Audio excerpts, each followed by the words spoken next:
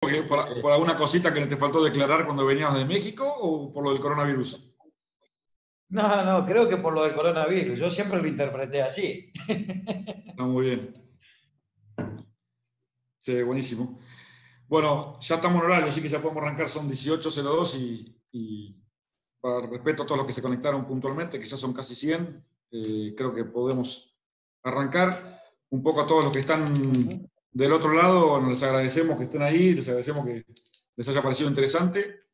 Eh, la idea fue, nos pareció eh, lindo que después de esta gira que se hizo para analizar un sistema diferente o distinto de, de eh, como es la que los dry lots con techos que, que, hay en la zona de Torreón, México, una zona que se saca mucha, mucha leche y que nos pareció interesante.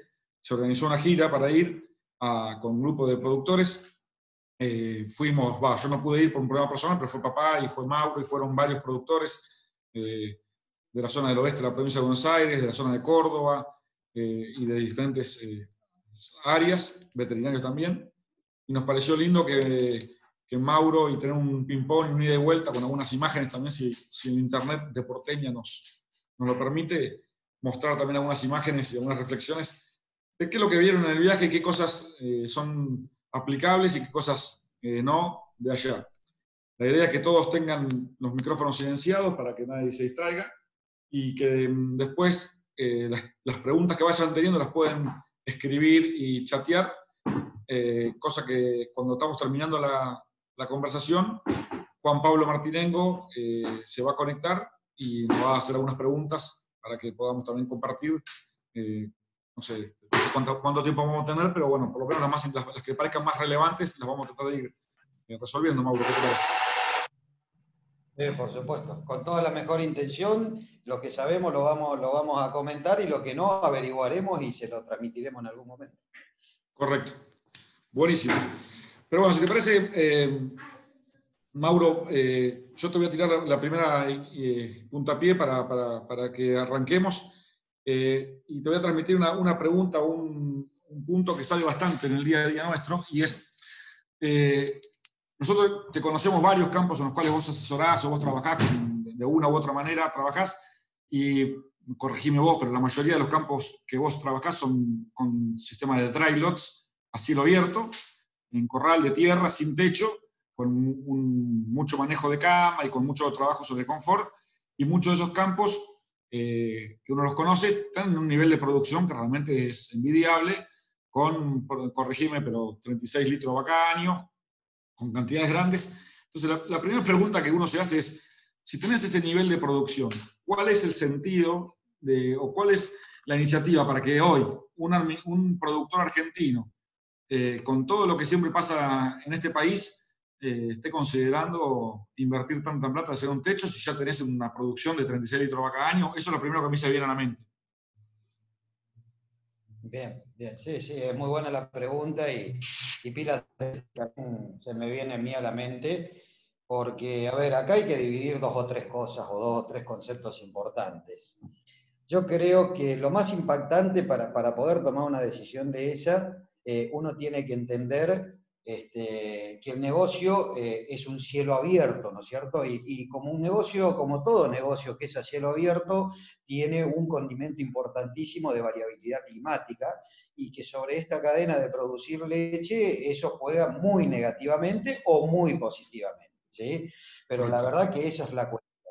Y desde esa óptica, ya vamos a ir viendo algunas, algunos datos después que te voy a mostrar, pero nosotros vemos que eh, en el, a ver, para decirlo así, la cantidad de clientes, nosotros estamos más o menos con 27.000 vacas asesorando en toda la Argentina. Y, yo divido a, las empresas en, tres tercios. Y, muchos de los productores o empresarios en el tercio superior, que son los que están alrededor de, de 35, 36 litros vaca año, cuentan con un manejo bastante importante, ¿sí? Y donde, después al cabo de análisis de 3, 4 años consecutivos, analizando los hilos, la reproducción, la genética, el manejo, el gerenciamiento, el liderazgo empresarial y todo lo demás, hay una variabilidad exentas a nosotros, para bien o para mal, de 3, 4 litros hacia arriba o 3, 4 litros hacia abajo por eventos climáticos.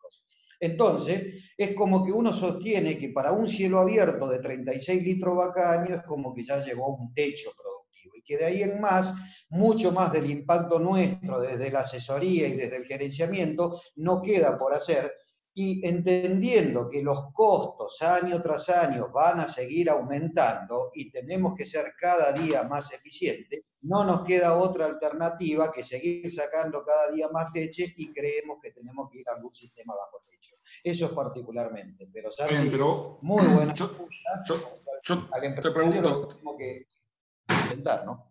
Sí, está bien.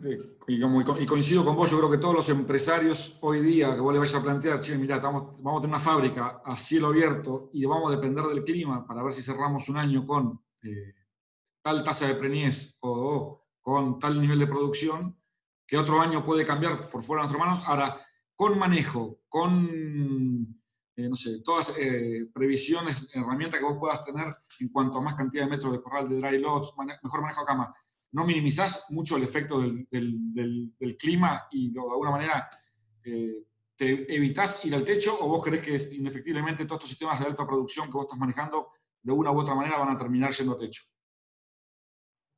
Bien, mira, yo lo que te puedo decir en base a nuestra experiencia, no tenemos la verdad absoluta, que, hemos empezando a intensificar sistemas productivos a cielo abierto, que arrancamos y, y desde hace ya por lo 16, 18 años que venimos haciendo esto, y al día de hoy pasa que el año pasado quizás arrancamos con ciertas empresas que empezamos a asesorar ahora, y vos ves que año tras año van mejorando, y quien está hoy en 27 litros, 28 litros, tiene mucho por seguir creciendo todavía a través del manejo, del gerenciamiento, del liderazgo, de genética y un montón de otros conceptos, pero ya para los que hemos llegado en algún momento a los 35 a 36 litros vaca año, esa meta en 20 años casi que te diría que no la pudimos sobrepasar nunca. ¿Sí? Por más que tuvimos un, bienestar, porque esta es la clave, ¿no? El bienestar y confort, ¿sí? Para que se expresen estos genes que, que vos estás en este negocio, Santi, de la genética, es crucial para el manejo, es crucial, ¿sí?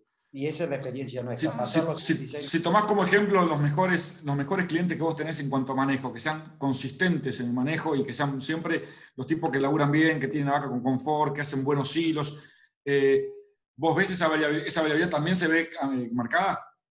¿O la tenés medida para poder...? Sí, Sí, sí, sí, totalmente. Eh, no sé si querés que te muestre algún grafiquito, algo. todo lo que vos este, puedas ir eh, mostrando para acompañar la charla, creo que es muy. Eh, todo te lo vamos a agradecer, así que mostrar, porque todo lo que puedas mostrar creo que va a estar bueno. Bien, bien. es algo de foto y algunos gráficos que puedo tener en la compu. Permitime que, lo vaya entrando. ¿sí? Voy a compartir la pantalla, ¿puede ser? Dale, metele, aparte seguramente un gráfico va a ser más lindo que vos, que, te tengo cada grande delante ah, mío. Muchas gracias. Bien. Ahí me traspolaste a México. Eh, sí, ahí te traspolé un poquito a México para ver lo que, lo que, dónde está ubicado Torreón, que es del viaje que vos comentabas al principio, que, nosotros estuvimos yendo este, a visitarlo con la empresa, con un montón de colegas y productores o empresarios del negocio de la lechería. México está ubicado en esta zona casi en la frontera o casi al límite, no, no, tan distante de 150 kilómetros el límite con Estados Unidos. Eh, Torreón, hoy la, verdad que, que, llama tremendamente la atención de México, que por ahí yo no tenía estos conceptos el año pasado en mi primer viaje a hacer algunas capacitaciones, que me encontré con un México que está siendo un número uno eh, o va a ser un próximamente número uno en los próximos tres o cuatro años en producción de leche. ¿sí? Hoy, para que tengas una idea, la, media de Torreón estamos hablando de 1.900 vacas por tambo, y la verdad que yo visité más de 25, 30 tambos y todos rondan entre 2.000 y 5.000, y hasta vimos un tambo que después les voy a mostrar alguna foto de 23.800 vacas en ordeño. O sea que las lecherías mexicanas que está viendo son extraordinarias, y hasta me encontré con tambos superiores en tamaño a lo que es Estados Unidos, ¿no? Cosa que no tenía tan claro. Eso es lo que te iba a decir, eh, la opinión de mi viejo, que no, viste que mi viejo es un tipo exigente, hablando de elogios, cuando volvió de Torreón me dijo, vimos tambos que son mejor, mejores que los que vemos en Estados Unidos en cuanto al manejo y en cuanto a la producción. Me llamó la atención eso. Sí. indudablemente que México copia mucho, lo tiene Estados Unidos ahí al lado, muchos de los asesores que yo incluso conozco, profesores de la Facultad de Estados Unidos, están yendo a trabajar a México, pero la verdad que lo están haciendo muy bien. A mí lo que realmente me llamó, y, es para mostrarte un dato acá de México, que vos fijás que ellos están en el trópico parecido a lo que es Estados Unidos. En mayo, junio y julio, que es el verano de ellos, las temperaturas rondan entre los 38 y los 40 grados centígrados. O sea, que muchas veces se fue a Estados Unidos a copiar algún sistema productivo, pero el problema principalmente que tenía Estados Unidos sacando Florida, llámese Wisconsin, toda la parte, la parte norte, el problema era que ellos pusieron la vaca bajo balcón por el hecho que el hielo les mataba todo, las nevadas les mataba todo. Y nosotros fuimos y copiamos eso para poder hacer algo acá por calor. Esto es lo primero que me llamó la atención. Eh, creo que esto tiene un clima muy parecido a nosotros con estas altas temperaturas, pero sí hay que aclarar algo. Torreón es una zona seca, es una zona árida, que hasta el 2012 ellos tenían un régimen de no mayor a 400 milímetros anuales, pero con una humedad extremadamente baja, ¿sí? Por ende, el ITH le juega a favor, eso hay que reconocerlo y es así. Hoy por hoy, en Torreón, en los últimos cuatro o seis años, a, través del cambio climático, ya hablan con una variable de 750 milímetros por año, ¿sí? Y hasta incluso el anteaño tuvieron una inundación de, de 1.200 milímetros, pero ellos tienen un condimento que les llueve extremadamente mal. Quizás toda esa lluvia anualizada la tienen en 60 días y después no llueve nunca más. ¿sí? Y con un clima extremadamente. El TH es muy bajo. Eso hay que decirlo, es así, pero bueno, está enfrente a un cambio climático y esto se está exponenciando de esta, de esta manera. ¿sí? Bien. Yo acá no sé si están viendo bien ustedes, si alcanza a mirarse la, imagen. Eh, ¿Se ve, Santi? En este caso, un campo de la zona noreste de Córdoba, que es la zona del Marul. Eh, estos son los sistemas o famosos Drylo que nosotros asesoramos, nuestras 20 y pico mil, casi 30 mil vacas que tenemos asesoría, las tenemos bajo estos sistemas todas, el 100% y bajo el condimento o régimen de tres ordeños, con todos los sistemas tremendamente intensivos. En este modelo a cielo abierto. ¿sí? No tenemos más de 4.000 vacas en la Argentina bajo techo, bajo otros modelos de, de nivel de encierre, no del que vamos a hablar hoy. Lo que sí nosotros hemos encontrado, y después te voy a mostrar un gráfico más adelante, con un estudio que hicimos con el doctor Schweneman de la Facultad de, Ohio, eh, con respecto a bienestar y confort, como estarán viendo ustedes en esta foto, donde por más que son drylots, nosotros estamos trabajando con las camas en los drylots a cielo abierto desde mucho tiempo. ¿sí? Bueno, eso me parece, un, un, concepto, disculpame que te corte un cachito nomás, porque obviamente eh, hay muchos de los que están escuchando que seguramente verán lo del techo como algo cercano y otros lo verán como algo que no lo ven muy cercano. Ahora, a mí siempre me quedó grabado cuando fuimos con vos a lo del tambo de Tandil, a lo de Hernán François, en Tandil Oeste, eh, a Maylucol, y hacer un techo no es algo que lo vas a decidir de un día para otro. Ahora, hacerle la cama a la vaca en un piquete de tierra es algo que lo haces en un ratito. Y Hernán, vos te vas a acordar mejor que yo, pero Hernán me acuerdo de decir ese comentario, veíamos que las vacas no se veía una vaca echada, había vacas que estaban paradas, había vacas que estaban mirándonos, que no, se notaba que no estaban ni comiendo, ni tomando agua, ni, ni descansando. Le hicimos el comentario, Hernán al toque agarró una rastra de disco, le hizo las camas y a los cinco días nos mandaba la foto de las vacas todas echadas y, subió siete litros. Y realmente eh, impactante, ¿no?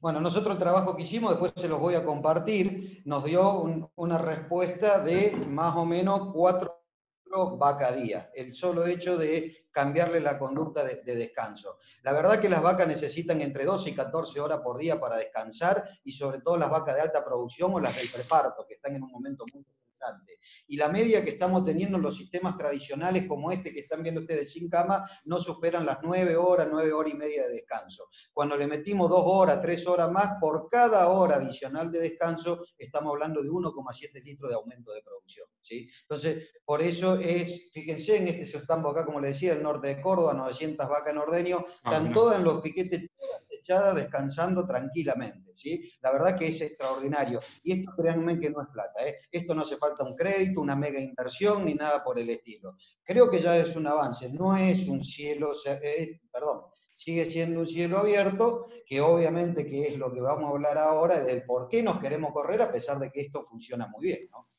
Eh, ahí están los comederos. Antes de seguir avanzando, antes de seguir avanzando a lo que son los sistemas eh, que, que, vimos allá en México, pero eh, contanos un poquito más cómo es el, tema de cómo hacen la cama en este tipo de, situaciones acá en Argentina a cielo abierto y cómo es eso de tenderle las camas o cómo es eso del mantenimiento Y una duda que a mí me la han planteado mucho cuando yo he mostrado estos videos o lo he comentado es si no es peor para el barro el hecho de hacer la cama en esos piquetes.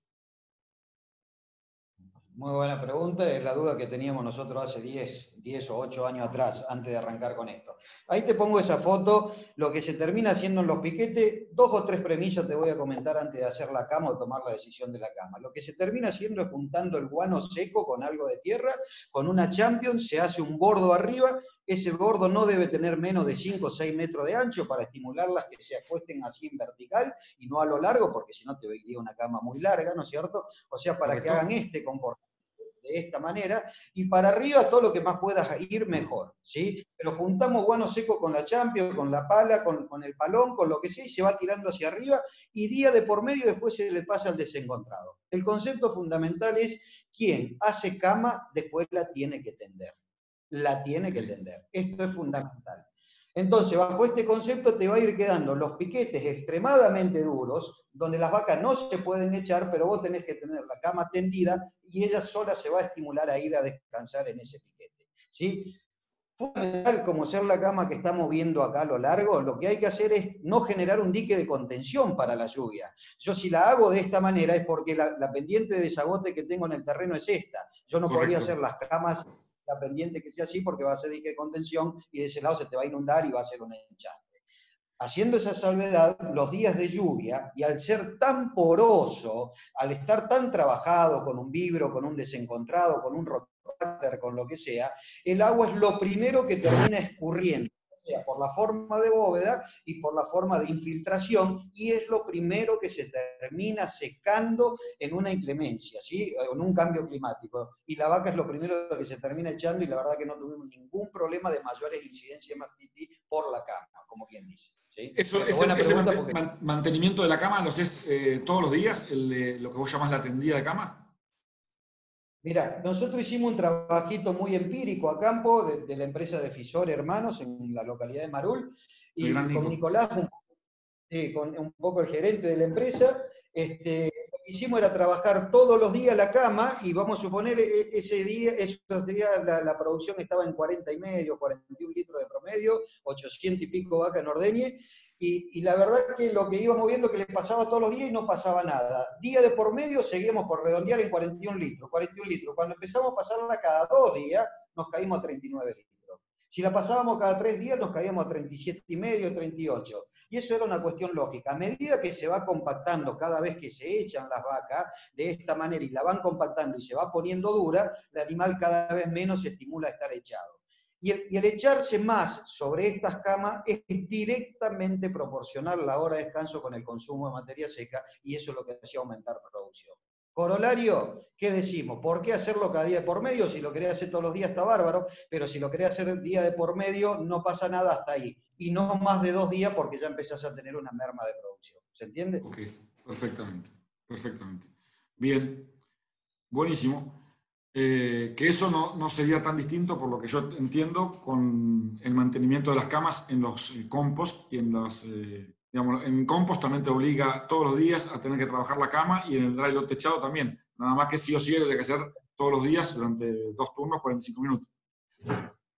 Totalmente. Ya vamos a hablar un poquitito de eso, pero así es, Santi, así es. Yo lo que creo que también estos modelos productivos para los empresarios que hoy ya quieren ir abajo un galpón, bajo techo, eh, fue un mecanismo de aprendizaje extraordinario. Hoy los productores que están 7, 8 meses del año arriba de 40 litros en estos sistemas, no tengo ningún miedo de entrar a un sistema bajo techo porque esta gente entendió muy bien el manejo de esto. ¿sí? Muy bien. No sería lo mismo que un pastoril a esto, bueno, seguramente tendría más inconvenientes. ¿Y qué cantidad de, metros cuadrados le calculás vos en estos dry lots eh, casi abierto, digamos? Bien, en, la zona de Córdoba, que nosotros tenemos bastantes vacas y tambo acá, nosotros estamos trabajando hoy alrededor de 150 metros cuadrados por vaca, ¿sí? Y por dos, digamos, por, por módulos de invierno como las que estaríamos viendo acá, que sería un piquete de esto, y los de verano son los que tienen media sombra. En los de verano se entra los primeros días de noviembre y te vas a fin de marzo, y en los otros entras en abril y te quedas hasta el 30 de noviembre. ¿sí? Y bajo cualquier condimento en el invierno del clima, por lluvia, bueno, los utilizamos para, poder descansar si hay algún problema de barro o algo por el estilo. Ok, que justo se entrecortó la conexión, creo, un cachito, cuando vos decías, pero son 150 metros cuadrados eh, y eso lo tenés en espejo, son dos corrales para usar los días de lluvia, romper uno y dejar el otro que descanse. Tal cual, tal cual. Santi, no hay ninguna regla mágica, ¿no? Es un poco la experiencia nuestra. Quizás hay gente que lo haga con 100 metros cuadrados y le va muy bien. Pero si vos te pones a ver, quizás Torreón, que vamos a ver alguna forma, o, California, ellos trabajaban con 40 metros cuadrados, pero bueno, en California llueve 300 milímetros al año. En nuestra zona que están estos drailos llueven 900 hoy por hoy, ¿sí? Entonces totalmente diferente y que contar con más metros cuadrados, ¿sí? Bien, perfecto. Mira, yo te quería compartir esta imagen. Esto es un tambo que no hace falta dar nombre, seguramente vos, lo conocés, Santi. Es un tambo que cuando ahora vamos a ver los datos, ustedes podrán ver ahí en este gráfico la curva de producción que vas a ver dibujándose en rojo es del año 2017 y la que está en vertical vendría a ser el intervalo parto-concepción. ¿sí? La, curva verde la de 2018 y la curva azul es de 2019 y, la, y el inicio de esta marrón es del 2020, ahora. ¿sí? ¿Qué es lo que estamos viendo? En estos cuatro años consecutivos, este gráfico de curva, vemos que en determinado momento, a medida que se fue aumentando la producción, también se fue bajando la, perdón, se fue aumentando la reproducción también. A mayor producción de leche, mayor fertilidad tuvieron las vacas. Y acá se cae toda teoría que estamos disfrutando. ¿Y por qué? Por bienestar y confort. Obviamente, manejo y bienestar y confort. Manejo que va desde la capacitación de personal, vos me conocés muy bien, Santi, en elegir los toros, del SCR, fertilidad, bla, bla, bla, todo. Pero bienestar y confort es fundamental. Esta empresa en particular, ¿sí? y acá está la cuestión del planteo del techo. Lo que nosotros notamos en estos cuatro años de observación, fíjate, esta empresa tenía 36 litros vaca año, con 32,4 vaca total, 38,4 en el 2018 con 34,4 vaca total, extraordinario, en esas fotos que veían recién, y el año pasado 35 litros con 31 vaca total. ¿Qué vemos? Que con análisis de silos bien comparativos, no tuvimos mayores inconvenientes de recambio de personal, la genética fue la misma, el semen fue el mismo, los asesores fuimos los mismos, el plano nutricional fue el mismo, tenemos una variabilidad de 3 a 4 litros todos los años, para un lado o para el otro, que es de de bienestar y confort por clima. Por esto es la cuestión de que por ahí muchas empresas se plantean esta cuestión del techo. Y esto no es más ni menos que del 15 al 20% de la tiro, de la tasa de reinversión de inversión y de retorno. ¿no? Lamentablemente no podemos ya darnos el lujo de perder esa, esa, esa cuestión.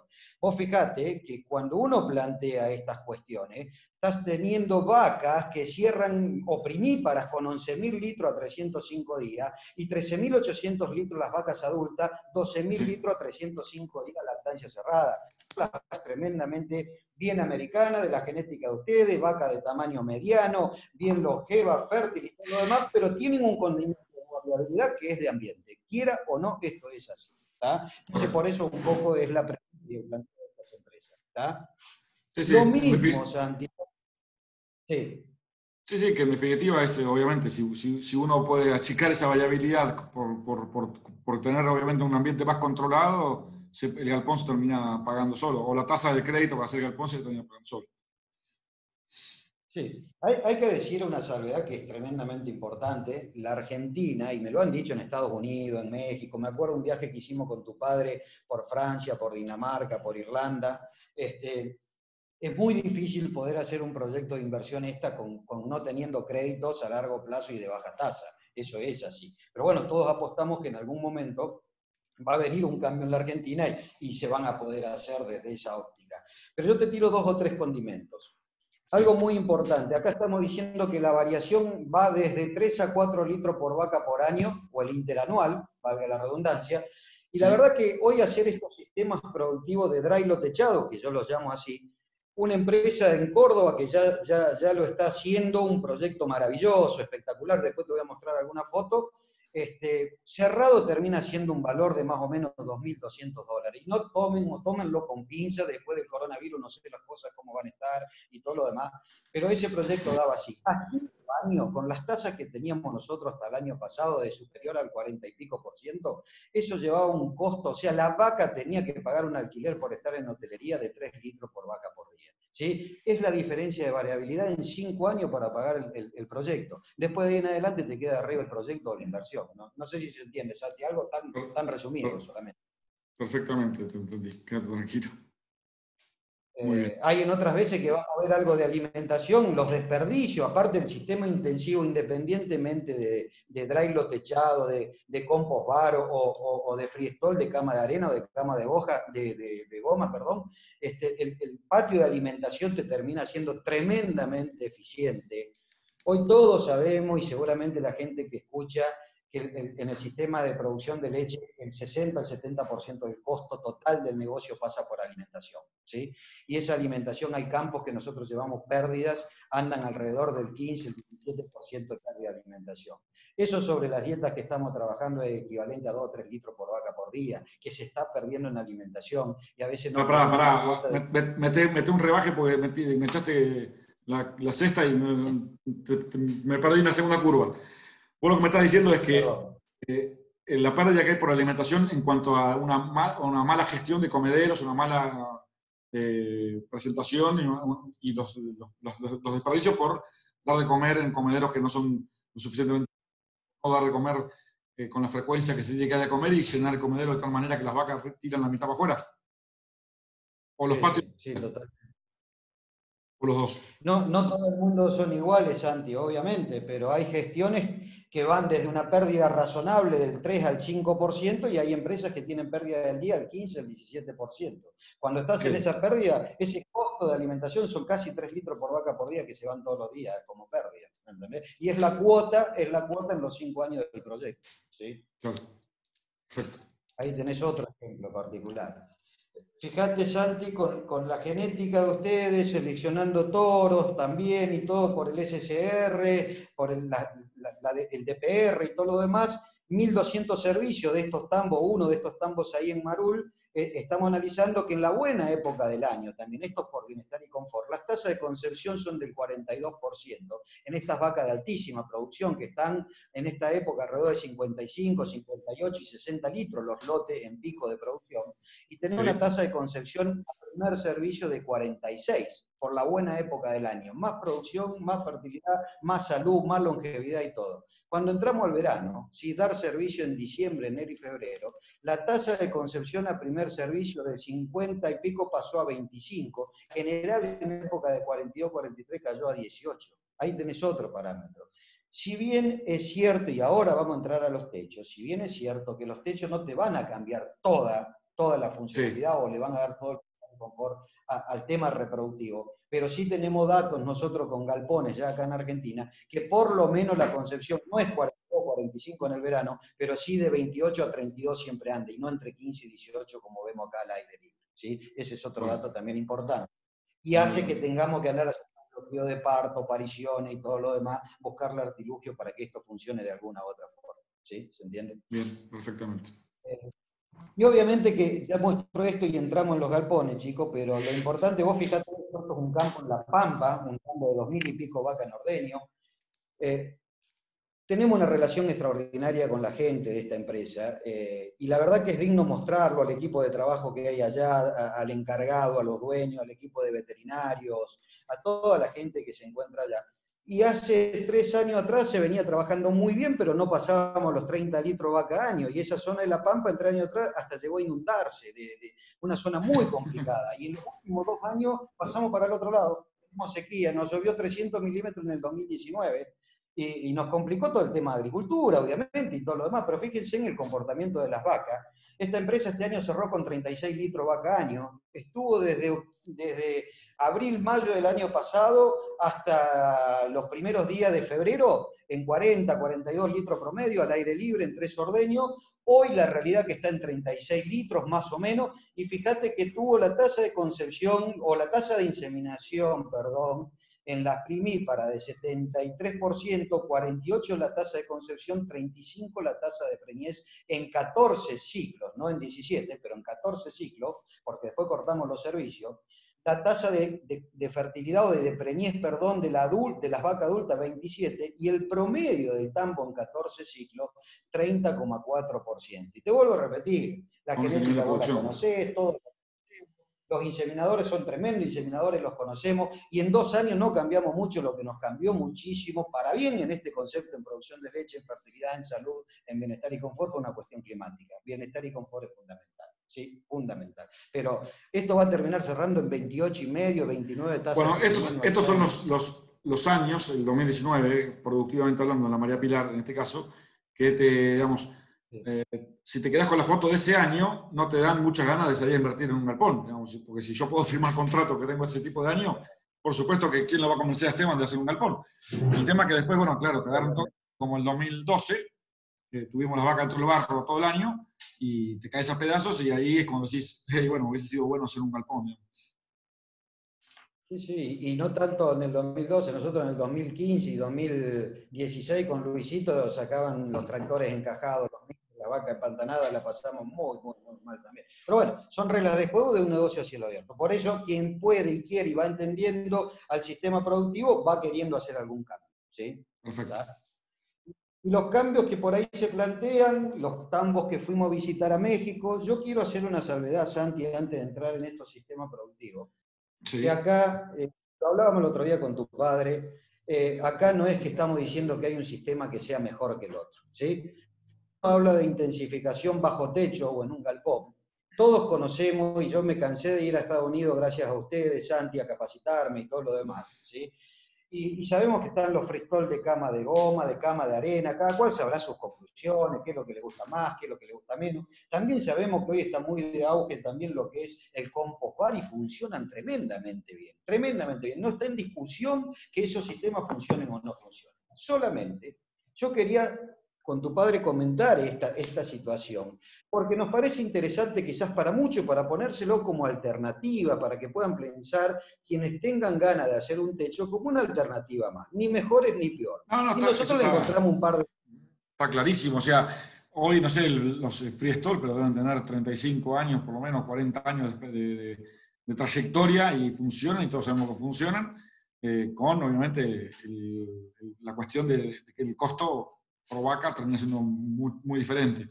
Y los compost, yo coincido con bueno, hace poquito, hace, que fue en marzo, hicimos, el mes pasado, hicimos una, una, jornada, bueno, cuando estaban ustedes en México, eh, nosotros hicimos dos días de visita eh, con, con, Juancito Monje y, y, con el equipo nuestro, eh, para visitar diferentes tipos de, de, compost. Y también, bueno, fuimos también a, a, un dry lot techado, que es el de Martín, que vos lo conoces, y, y bueno, también se los, vio, se vio muy bien, pero bueno, obviamente, si uno pudiese tener la alternativa de no tener que manejar sustrato, eh, obviamente eh, yo firmo contrato. Totalmente, totalmente. Recién lo, lo, nombrabas a Juan Monge, tremendo asesor, tremendo profesional, ¿sí? Pero bueno, yo lo que vi en esto, eh, encontrarse es un sistema a, cielo, perdón, eh, con techo, pero la cama, fíjense en que es lo mismo de lo que veíamos a cielo abierto. ¿sí? Esto no tiene ningún sustrato. Esto es el guano seco que se trae de afuera hacia adentro y ahí se va trabajando. Y esto es lo que no lleva arena, no lleva rastrojo, no lleva serrín, no lleva absolutamente nada. Absolutamente esto ya, es eh, Torreón. Esto es Torreón, esto es México, este es un tambo de, un, de los dueños de, que se llama Fresnedo, que son los dueños del ala, 5.000 vacas en ordeño, 41 litros vaca año, en tres ordeñes, esta foto que estamos viendo acá es del año pasado, un viaje que yo estuve allá, este es el sistema, estamos contando, a ver, el sistema de patio de comida es para todos por igual, después podemos hablar algo de esto, pero es para todos por igual. De este lado tenemos 4 metros de cemento donde está la vaca que se para para comer, Después tenemos 16 metros acá, que en total son los 20 metros cuadrados bajo techo que se necesitan para este sistema, y otros 20 metros o más, pueden ser 30, 40, no pasa más, nada, al aire libre de este lugar, para poder después ir sacando guano seco, tirando hacia acá, haciendo movimiento, lo que sea, o también para estimular a la vaca en determinado momento que pueda salir afuera y, todo lo demás. ¿sí? Ok, eh, pero la, la cama, la cama es la que, mejor dicho, la cama que está bajo techo, en definitiva son 16 metros. Sí, sí, esto eh, son 20 metros totales, 4 en cemento, suponiendo que le estás dando metro de frente, pues eso se hacen cálculos, te la quiero hacer sencilla, ¿no es cierto? Ok, eh, perfecto. Eso termina los 20 metros, los 20 metros de, bajo techo. Y la orientación este y, la pista de comida, todo es lo mismo. Si vos el día de mañana, supongamos que vos te querés hacer un, un, un techado y el día de mañana te querés pasar o a un compost o a un freestall, es la, el patio de comida es exactamente igual, la pista de comida es igual. Sí, sí, sí, totalmente, totalmente. La, parte, la parte esta que estaría acá de cemento y hasta estos cuatro metros es exactamente lo mismo para cualquier sistema. Exactamente lo mismo.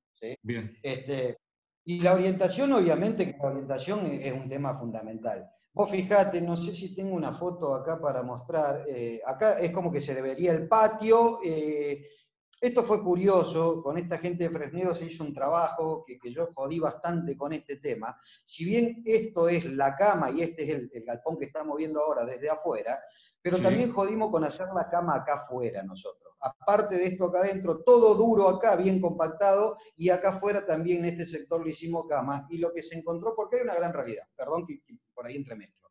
La vaca, la vaca no, es vaca pero no es tonta, no sale y no le gusta salir, no está afuera. y cuando lo que, yo, lo, que vi, lo, que vi, cuando estuvimos allá en, en, Villa María, eh, el de Martín, por ejemplo, que tiene patio, yo le preguntaba, le digo, che Martín, ¿y las vacas salen? No salen nunca, ni en verano ni en invierno. No sé qué te dijeron en México.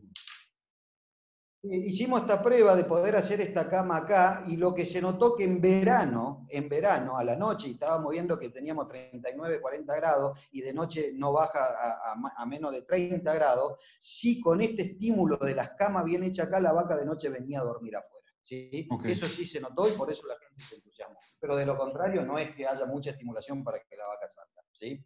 Okay. Este, esto, esto, es como se está viendo acá, acá hay un tractor. En cada momento que la vaca se va al caso y dos veces al día en esos dos ordeños que se está efectuando, se hay que hacer el mantenimiento y el mullido de la cama. ¿sí? Esto es fundamental, fundamental. Y fíjense en que de este lado, de la columna hacia la derecha... Va a ser el mullido. ¿Cómo? Perdóname. ¿Cuánto tiempo te lleva hacer el mullido en un sistema de estos o en un compost, lo mismo? No, en, estos sistemas hay diferentes herramientas para hacerlo, que van desde un cincel, una rastra, un tiro excéntrico, un doble acción, un rotobacter, como vamos a ver acá, pero más o menos estos piquetes eran alrededor de 250 vacas y cada piquete para hacer estos mantenimientos en estos, en estos 20 metros, con este equipo que están acá, estaba alrededor de, no, no superaba los 3 minutos por, por pasada, ¿sí? Eh, es tremendamente rápido. Pero lo importante de ver, fíjense que acá yo puse los pies y de este lado es tremendamente duro y esto es tremendamente blando donde ven que mi pie se entierra. Y esto es el condimento fundamental de la cama para estimular a la vaca.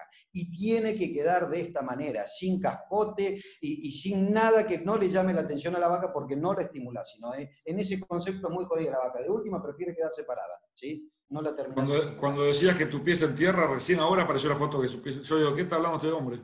Ahora recién aparece la foto de que tu pies en tierra. Ah, perdón, venimos con un delay. Exacto. Ahora, ahora, ahora sí.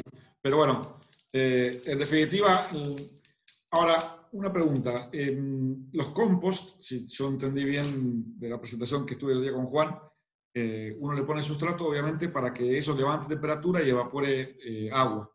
En este caso, bueno, tenés, no tiene temperatura esta cama. No, no, no, no. Esto lo que no tiene que tener es humedad, porque acá la idea es trabajar. A ver, un compost, esto sabe muchísimo Juan, pero un compost más o menos trabaja con un 50% de humedad y 50 grados centígrados, ¿sí? Para que haga un buen compostaje. Acá es cero, acá no hay humedad ni temperatura. Acá en cuanto mete humedad y temperatura se encharca. Y por eso hay que manejar muy bien la carga, no quererse hacer los pícaros, porque muchas veces arrancamos, tengo 800 vacas en ordeño, hago un galpón a 400, me entusiasmo, me va bien, y de la noche a la mañana le metiste 500, 550 y chao se, armó la, la, catombe, ¿se entiende? Porque ahí no va a soportar por las deyecciones, orín, materia fecal y todo lo demás, no le da el tiempo a, que haga el proceso y que se seque el sector, ¿se entiende o no? ¿Cuánta menos carga pues, o, creéis vos que se tienen que manejar, o que, con qué carga los manejaban en Torreón, o bueno, Martín, que tiene un sistema parecido a este, con cuánta menos carga que un compost? Vos, pensá, eh, me parece que Juan, él, está diciendo para un compost que hay que trabajar alrededor de 13, 14, 15 metros cuadrados por vaca, y este sistema funciona muy bien, eh, quizás con 18 a 20 metros cuadrados por vaca, ¿sí? son 4 o 5 metros cuadrados más por vaca.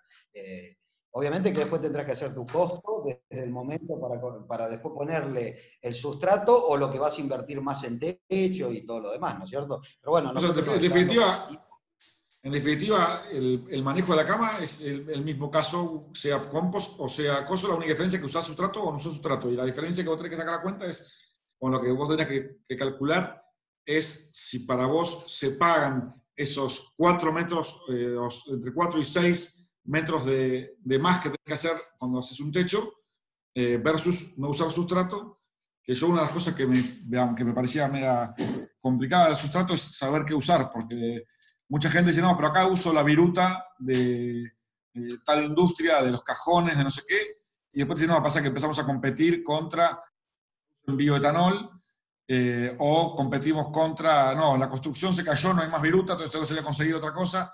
Eh, o salimos a conseguir un rollo de chala y bueno, y, lo que le estás quitando de materia orgánica al campo también creo que hay que poner la cuenta.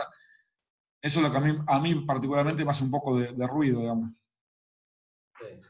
Santi, hay una realidad que es la cercanía que puede tener a algún sistema, ¿no? Quien puede estar cerca, por decir una, una chote en corriente, eh, pueda tener viruta muy, muy a cero costo.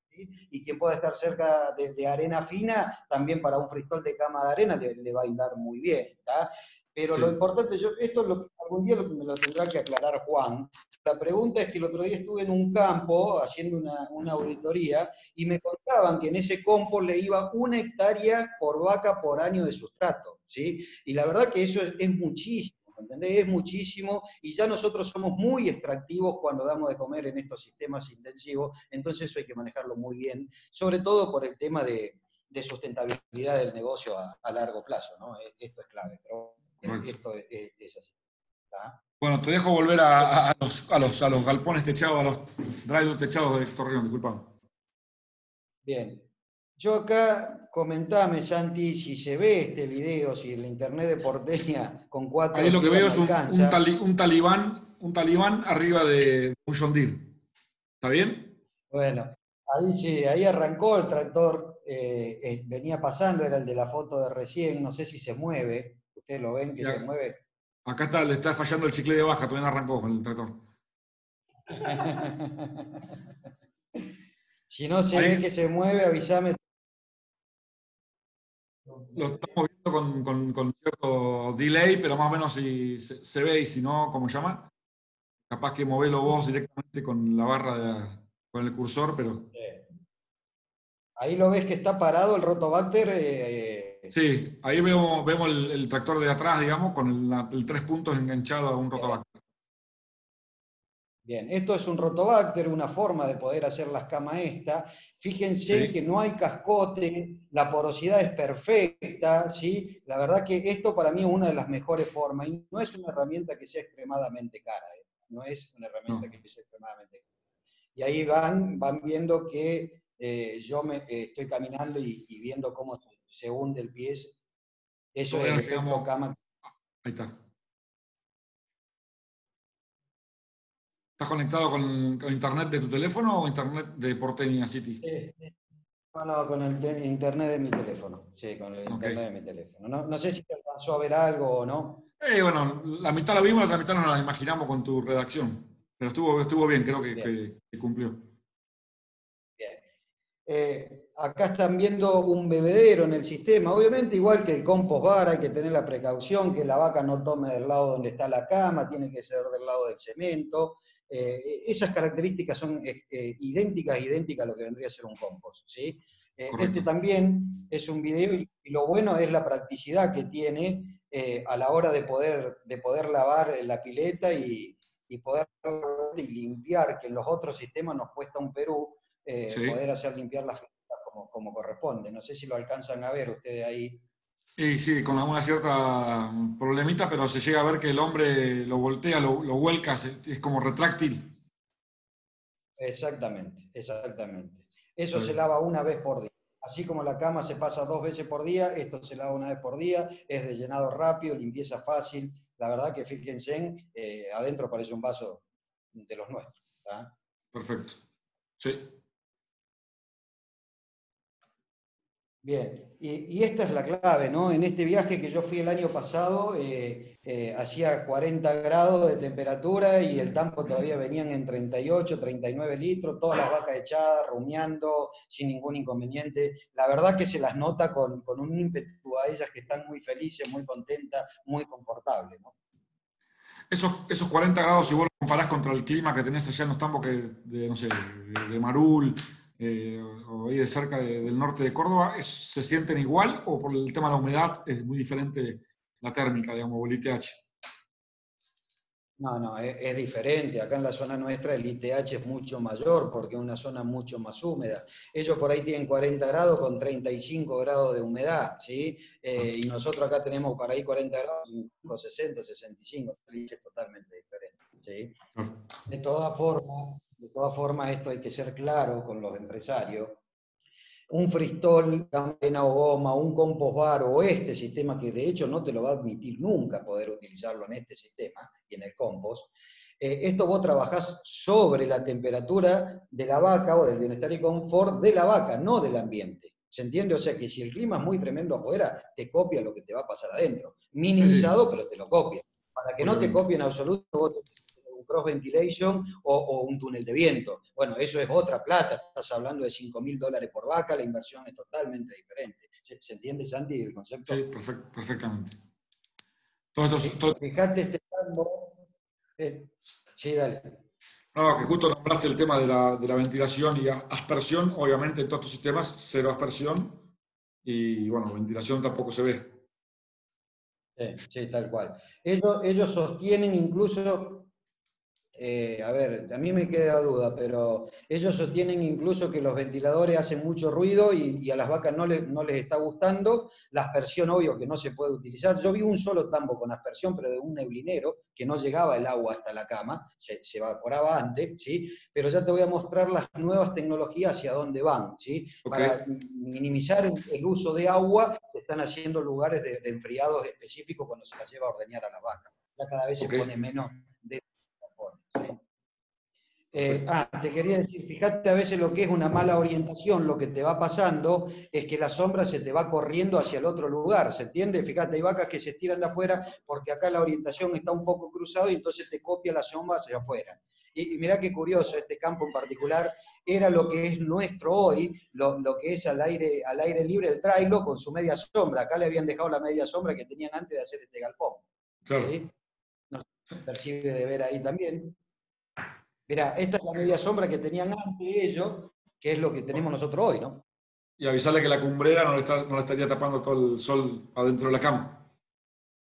Claro, tal cual. Bueno, pero una media sombra se debe hacer de esta manera porque tiene que ir copiando la sombra por la altura, por el tamaño, si no se te terminaría encharcando y generando barro y una incidencia mastiti alta. La media sombra se hace totalmente al revés que es lo que se un balcón de techo totalmente al revés. Una es de norte a sur y el otro es de este a oeste. ¿Está claro? ¿Sí? Pero la, la tiene que copiar. El galpón no. Si esto fuese un galpón, vos imaginate, acá tuvieras cama y en este momento del día no la estarían utilizando las vacas. ¿sí? Las de este lado sí, y después cuando el sol pasa para allá, la sombra para el otro lado, viceversa. A mí me pasa en un galpón de acá de Argentina que, está mal hecho y que durante el mediodía las vacas no se echan en el fristol y a la tarde se echan del otro lado. ¿Me entendés? Porque entonces ocupo la mitad de las vacas porque están incómodas por el sol, porque entra dentro el sol dentro del galpón, cosa que no tiene que hacer.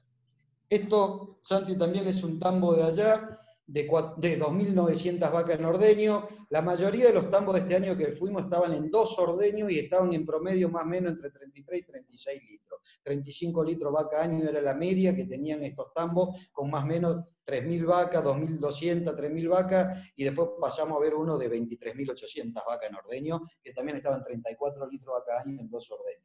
Pero sí la, Escúchame, una pregunta ahí.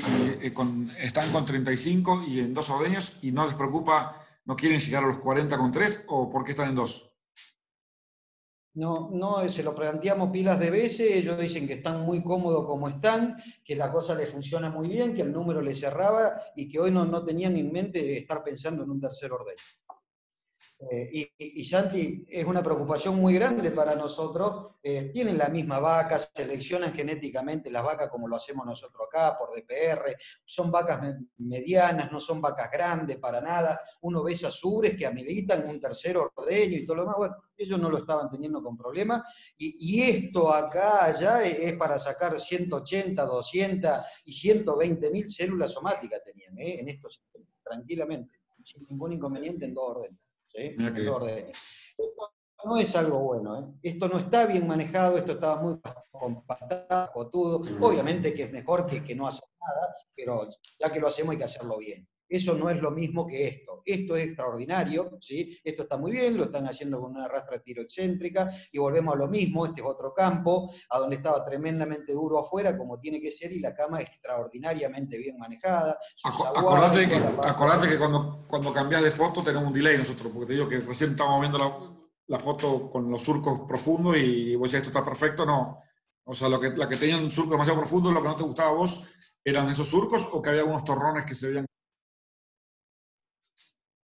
las dos cosas, Santi, los terrones y los surcos profundos no le gustan a las vacas, particularmente los terrones no les gustan. Eh, nosotros en los drylot, en los drylot cuando empezamos a hacer cama, que en los primeros días no tenés guano para juntar, le pasamos como este tiro excéntrico al piquete, ¿no es cierto? Y le pasamos 10, 12 veces para dejárselo tipo serrín, como, eh, como está esto, ¿me entendés? Porque si quedan los cascotes no se estimulan, no van a echarse, no van directamente. Entonces no tienen que quedar cascotes. Así como esta se ve bien, Santi, ¿Se nota esta foto? Sí, es correcto. Se ve perfecto. Esta cama como está, está trabajada. ¿sí? Perfecto. Esta es otra herramienta que, que, se vio eh, eh, en este viaje. Allí vimos hasta ahora lo que era un rotobar, vimos la, tiro excéntrico que todos conocemos. Yo te voy pasando rápido acá, ya, vamos a esperar que te pegue la imagen. Este era un sistema que tenía como unas patas eh, enganchadas de tres puntos en el tractor atrás eh, no sé si ya las están viendo, esas patas ahí en el enganche del tractor. Tipo pico de pato, eso que le dicen. Sí, y atrás viene un palón que ya lo vamos a ver en, otra foto. ¿sí? Eh, o sea, son tres herramientas diferentes, mientras las utilicen bien, cualquiera funciona, no hay mucho, mucho secreto. Si me das a elegir, me quedo con el rotobacter, pero bueno, no, no, no, es, esencial. Eh, este es uno de los galpones del tambo, de este tambo inmenso. Eh, la verdad que a mí lo que me impactó en este galpón particularmente, el diseño que tenía, los metros, la altura, la verdad que, eso me gustó mucho. Hay otros modelos que, son realmente muy bajos, pero bueno, en México eh, también guarda que tienen bastante, no tienen un panorama tremendamente claro hacia dónde van. Ellos tranquila adentro tienen un, protocolo que les gusta, les funciona y van hacia adelante. ¿sí? No quiero decir que todo el mundo sea igual, pero bueno, esto para mí es algo muy bueno. Esto es muy bueno, como se ¿Este es el tambo de, de 23.000 vacas? Parece que esto es una foto de uno de los galpones del tambo de 23.000 vacas. Sí, sí, tal cual. Este, mm, te voy a poner un videíto ahí a ver si lo alcanzan a ver ustedes. Decime si se ve algo o no. Por ahora estamos todavía viendo las vacas desde afuera, todas echadas abajo del galpón.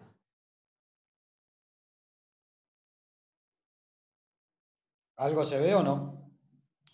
Por ahora no. Ahí está, está, queriendo mover un poco, sí.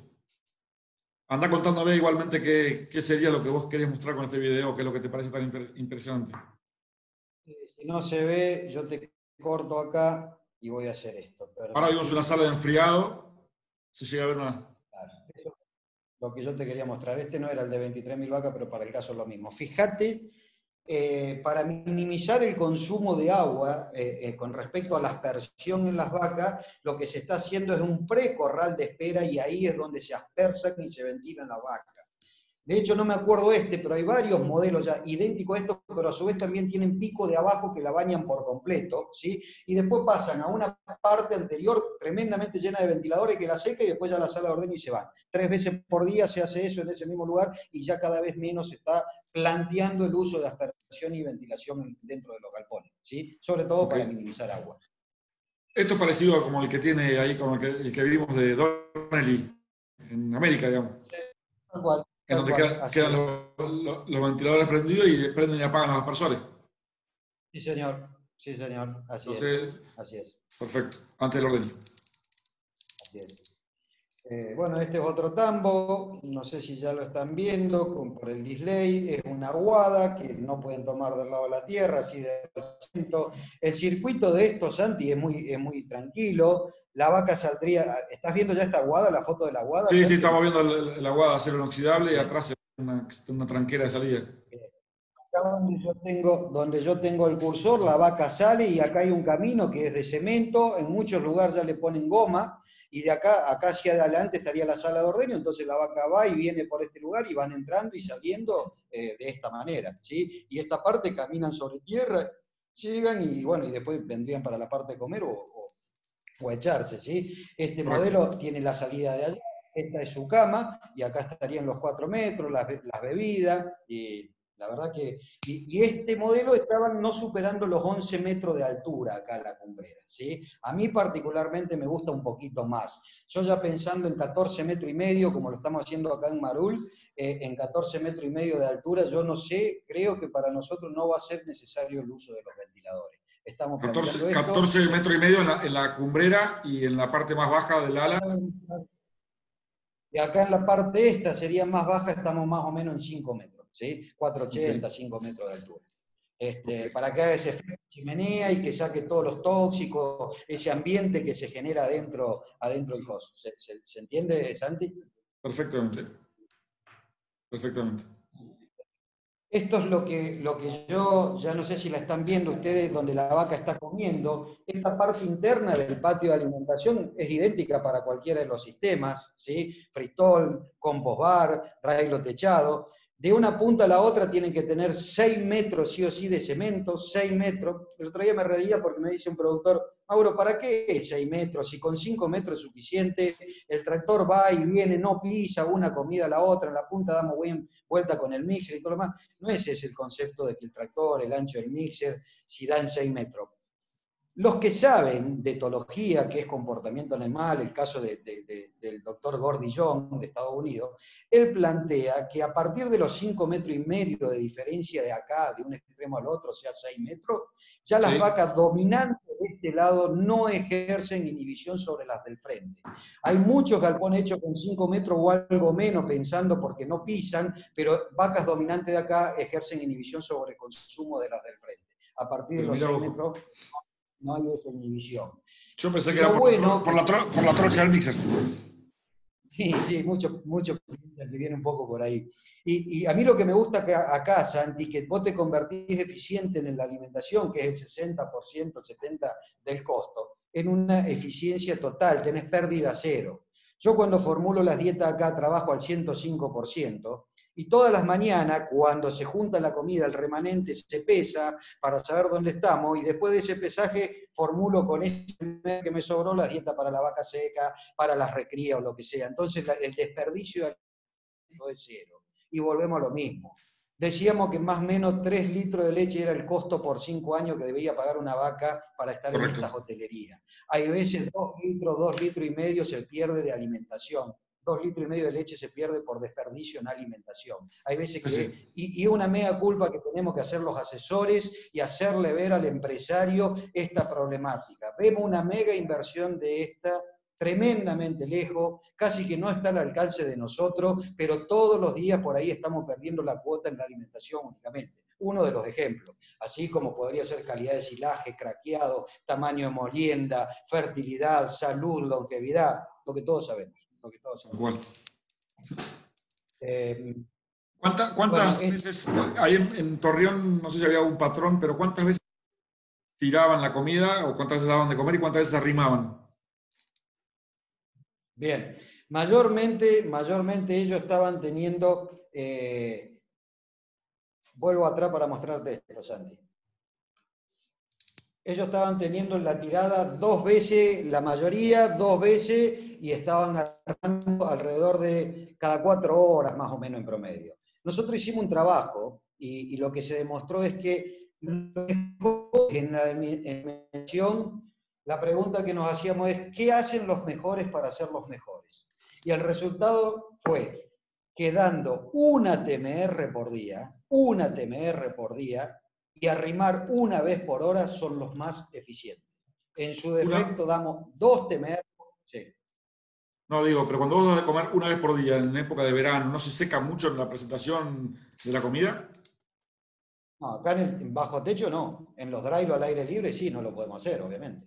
Pero acá bajo techo no hay problema. Y, y, después la segunda opción, la segunda opción es dar dos veces al día y arrimar cada dos horas. ¿Por qué digo esto? Después si tengo tiempo les muestro el trabajo que se hizo. Nosotros probamos una vez al día, dos veces al día, tres, cuatro y hasta cinco veces al día dar de comer. ¿Por qué? Porque teníamos la costumbre de pensar que la vaca, al entrar más veces consecutivas al mixer a dar de comer, la estimulaba a venir a comer más y debería aumentar la producción.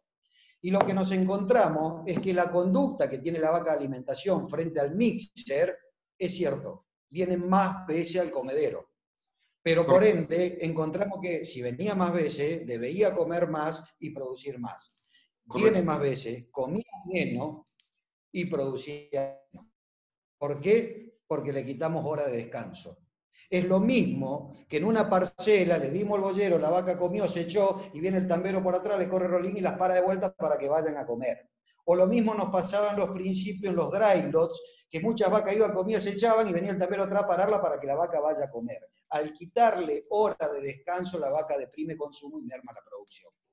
Entonces, está así muy comprobado que vos cuando vas a rimar, y esto no lo sé por qué, pero las vacas entienden perfectamente cuál es el tractor que va a dar de comer y cuál es el que va a hacer mantenimiento de piquete o en estos casos de arrime de comida. Cuando viene el tractor del mixer, entienden perfectamente, no sé si es el ruido, qué es lo que es, pero cuando viene la Champion o cuando viene alguien a arrimar la vaca no le da pelota. Y lo mismo nos pasa a nosotros. ¿eh? Si entramos a un piquete drylo con el tractor del mixer, todas se paran. Y si pasamos, vamos para pasar el rabastro, quizá el mismo tractor, pero haciendo otra fuerza, la vaca tiene que tocarle bocina, bajarte, patearla, porque no se para, no te da pelota. ¿sí? Ahí es donde te das cuenta que las terminamos molestando en los momentos que no hay que molestar. O sea que, y esto tampoco eh, allá en Torreón, la mayoría hacía eso, o sea, daba de comer una o dos veces al día y arrimaba cada, ratito. Eh, daban de comer mayormente dos veces al día y estaban arrimando promedio cada tres, cuatro horas. A mí me hubiera gustado un poquito más cerca el arrime, pero bueno, la verdad que, bien, bien, lo trabajan bien, lo trabajan bien. 35 litros vaca año en dos años no es nada despreciable, Santi. No, no, no, estamos totalmente de acuerdo. Es más, eh, me gustaría, eh, sería una discusión más larga, si conviene meterte en 3 para sacar 40 si estás en 2 con 36. Sí, sí, será un tema que hay que discutir. Yo estoy convencido que sí, pero bueno, es, es otro tema. Qué buena foto, esta, esta foto no es tuya. Sí, sí, sí, esta foto la sacó creo que Nicolás. Nicolás, el otro día, este es uno de los tampos que dije con un fotón. La verdad que un fotón, me encanta. Un fotón de tapa, tapa de catálogo del catálogo de Bernardi 2021. Bueno, ahí está, se la vamos a pedir a Nico que te la pase. Está buenísimo. Este, está buenísimo. Eh, fíjate, esto es lo que yo te decía, si bien este es un galpón que ya está contra la sala de ordeño, pero salen por las tranqueras de los picos tienen su, caminata para donde llegar a la, sala de ordeño, ordeñar y vuelven y, se introducen en cada piquete. Ninguna, ninguna ciencia ni cosa rara. Veíamos mucho que le ponían a las vacas frescas, recién paridas, un poquito de rollo acá en este portarrollo de ellos, pero bueno, eso por eso estaba así. Bueno, aguantá porque recién, recién acaba de cambiar la foto. Cuando vos marcabas todavía estábamos viendo el fotón de Nico. lo que nos mostrabas acá en esta es el rollo en el patio eh, el, callejón de hormigón o de cemento para llegar. Pará, pará, que te me fuiste la foto. Volvé para atrás.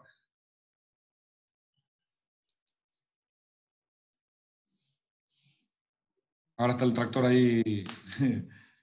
ahí está, ahí estamos.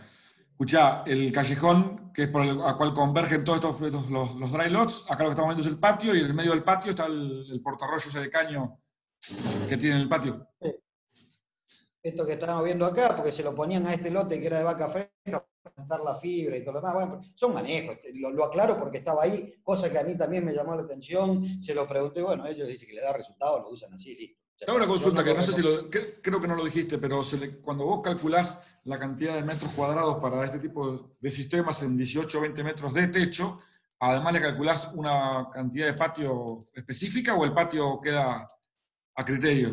Al, más o menos por ciento, al dedo por ciento.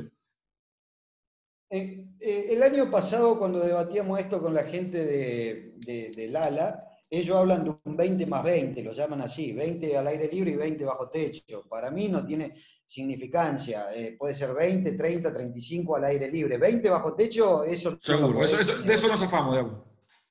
Eso nos afamos, ¿sí? Y, acá puedes tener 20, 25, 30. En el caso de, de, establecimiento ahí de Fisor en Marul, creo que esto van a quedar de 30 metros, 35, lo que al aire libre. Si 10 metros más lineal no le cambia a la empresa, ¿sí?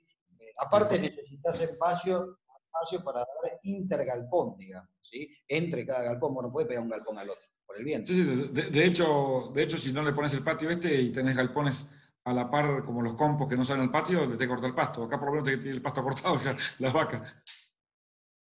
Totalmente, totalmente, así es. Perfecto. Bueno, vamos a la que sigue.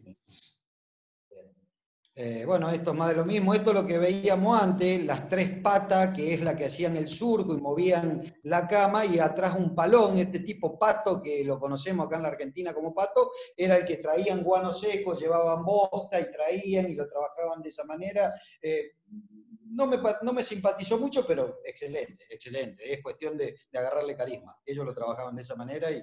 ¿A vos te gusta el, el rotobacter, me parece, por lo que te escucho? Sí, sí, para mí es por el tema de la porosidad, drena muy bien. De hecho, el rotobacter que tenemos en los Drailo es el que más rápido drena el agua en las camas al aire libre después de una lluvia, porque eh, esa le da mayor permeabilidad. Esta es la clave, la permeabilidad. Y acá la orín y la bosta que se descompone ahí lo hace más rápido también. ¿sí? Perfecto. Ahí ya lo van a ver seguramente con el display, ahí se ve perfectamente las tres patas y, el palón. Perfecto. ¿Lo estás viendo, Santi, ahí o no? Lo estoy viendo, sí, ya llegó. Ya llegó. Este arrancaba más rápido que el otro.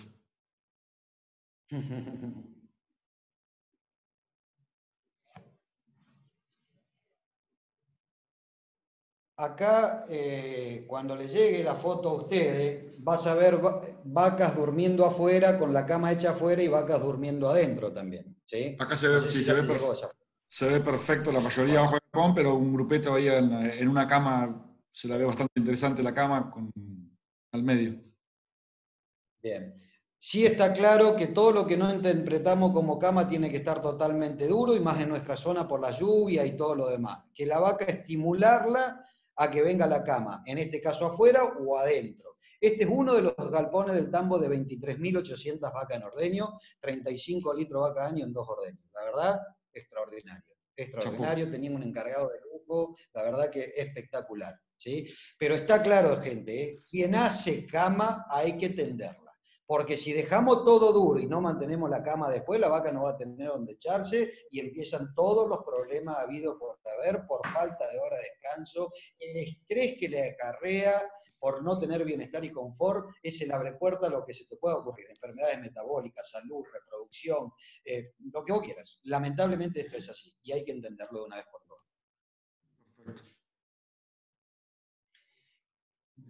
Ahí te comparto, no sé si ya llegó esta imagen, de uno o dos modelos que uno va viendo. Fíjate que en los modelos de arriba lo que no cabe duda es lo que yo te decía antes. Acá estás viendo los 6 metros que te van de, alimentación y acá los 4 metros donde estaría la vaca que se para a comer. ¿sí? Correcto. ¿Cuál es la diferencia? Este es que tiene la cumbrera acá arriba y un techo que viene quebrado. Versus este con la cumbrera acá arriba igual, pero el techo es directo hacia abajo. El, del caso de la izquierda sería como el galpón de Martín Bono, digamos, que agregando alerón, y, exacto. Este es de Martín. Martín. Exacto, y vos lo que vas a ver acá, que a su vez que el techo está quebrado así, tiene columna en el medio. Sí. Este, también en la otra variable del techo continuo con columna en el medio, y los otros de abajo son iguales pero sin columnas en el medio. Correcto. El tener la columna acá dificulta el trabajo de la cama, donde veíamos el tractor con el, con el cincel, con el rotobacter, con la regarra tiroexente, y todo lo demás, genera un riesgo. Pero bueno, esto depende de cada uno. A mí me gusta mucho más esto.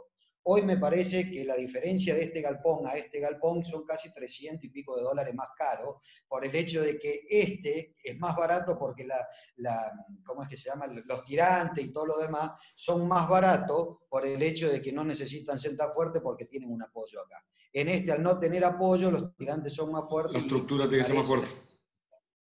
la encarece. Pero bueno, es mucho más cómodo poder trabajar internamente después con, los, tractores y la herramienta para el mantenimiento de las camas. ¿sí? Tal cual. Este que te muestro acá es, el, de, el Fisore en Marul. Eh, seguramente cuando te encuentres con Nico y todo lo demás te lo va a comentar con lujo y detalle, pero es lo que yo te decía. Él está llegando acá a, la chimenea, como quien dice, de esta manera, con casi 15 metros, 14 metros y pico, ¿sí? Y más o menos con 4 metros a, los costados, ¿sí? Los 6 metros más los 4 metros, todo lo demás es todo igual, y, y el caso de Nico es directo, el techo no es quebrado, ¿sí? Eh, tiene bajas dependientes y todo lo demás, y, obviamente que eh, no tiene en este caso la columna en el medio. Se hizo, va a ser lo más cómodo, lo más eficiente posible. La verdad que está muy bien. Y, y, este va a ser dry lot, eh, o sea, no va a ser compost, sino va a ser dry lot va a ser un drylot techado, exactamente por el uso del no sustrato. Ellos no quieren la utilización de sustrato. Me prohibieron el uso de arena para un freestyle, que estábamos muy embalados con eso, después del compost bar, en las otras clases de sustrato que puedan ser, y bueno, de acá se convencieron y quieren probar. ¿sí? Ya arranca. Si no hubiera pasado esto del coronavirus y todo lo demás, nosotros estábamos ya capaz que a dos meses o tres de, arrancar con la primera nave, que son más o menos cada nave para 400 vacas. Eh, bueno, ahora está todo parado, no sé, Dios, Dios dirá cuándo iremos. Yo lo único que quiero decir que estas imágenes, gente, el proyecto es una mega inversión. No quieran copiar por copiar medidas. Hay gente que no soy yo, ¿eh? pero hay gente muy especializada que sabe muy bien de esto. Juan Monge, que vos lo nombraste y todo lo demás, son gente que sabe muchísimo de esto. No se la hagan hacer y que por querer cuidar centavos después van a perder de a millones consulten y hagan las cosas como se deben hacer. No seamos gringo a ajo como somos acá los piamonteses. Por favor, hay gente que sabe muchísimo. Todas las medidas tienen una lógica de ser. Este, esta, esta chimenea tiene una lógica de ser que lleva el ancho y el alto con respecto al frente y a la pendiente del techo. No puede hacer como se te ocurre esto. Le estoy dando algunos detalles como para que se entiendan que esto no es copiar y pegar. Hay que planteárselo a gente que está especializada y capacitada para hacer esto, plantearle qué negocio quieren hacer, hacia dónde quieren ir y seguramente ellos los van a orientar. Pero no es copiar y pegar, señores. en, Torreón se veía mucha variabilidad en construcción o todos más o menos seguían el mismo patrón?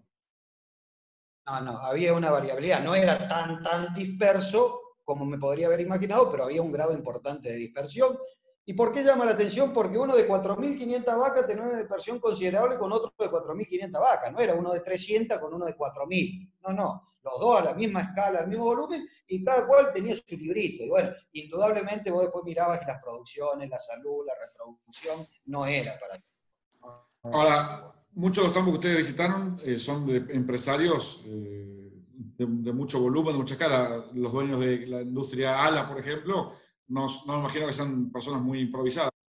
Ellos eh, consideran que este eh, sistema que están manejando hoy de drive techado era un sistema intermedio eh, hacia llegar a los free stalls, por ejemplo, o ellos consideran que se van a quedar ahí y van a seguir creciendo y estabilizados en drive techados.